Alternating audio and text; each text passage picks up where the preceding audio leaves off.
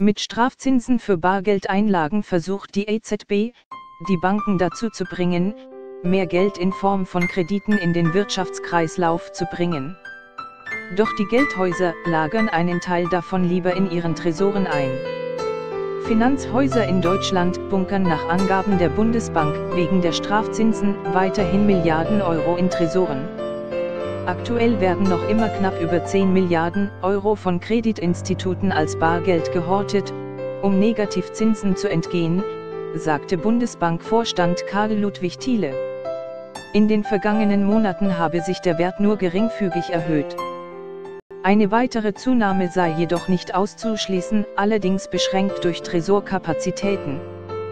Thiele hatte im Sommer von zusätzlich 10 Milliarden Euro in den vergangenen zwei Jahren gesprochen. Der Kassenbestand der Geldhäuser war in diesem Zeitraum deutlich gestiegen. Einen Trend zur Aufbewahrung von Bargeld in großem Stil sieht die Branche bei den Instituten allerdings nicht.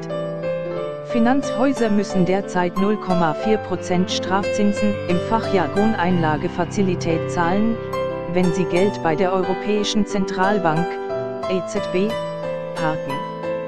Die Notenbank kämpft unter anderem damit gegen niedrige Inflation im gemeinsamen Währungsraum. Strafzinsen, so die Theorie, bringen Banken eher dazu, das Geld als Kredit an Verbraucher und Unternehmen weiterzureichen. Das kann die Konjunktur und die Inflation ankurbeln. Die Aufbewahrung von Bargeld im Tresor ist allerdings nicht umsonst. Für die Lagerung im größeren Stil müssen im Zweifelsfall extra Räume gemietet werden. Hinzu kommen Kosten für den Transport des Geldes und für Versicherungsprämien. Die Belastungen variieren je nach Finanzhaus. Bei größeren Mengen an Bargeld sind die Kosten für Aufbewahrung, Versicherung und Transport bei einigen Kreditinstituten nach unseren Berechnungen bereits ab einer Einlagefazilität von minus 0,25% niedriger als die anderenfalls entstehenden Zinsaufwendungen, sagte Thiele.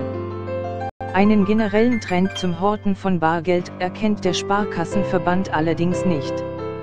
Wir sehen im Moment keine große Diskussion und keine große Bewegung bei dem Thema, sagte ein Sprecher des Deutschen Sparkassen- und Giroverbandes. Ähnlich äußerte sich ein Sprecher des Bundesverbandes der deutschen Volksbanken und Raiffeisenbanken, in der Praxis ist das nicht im großen Stil zu beobachten. Quelle n-tv.de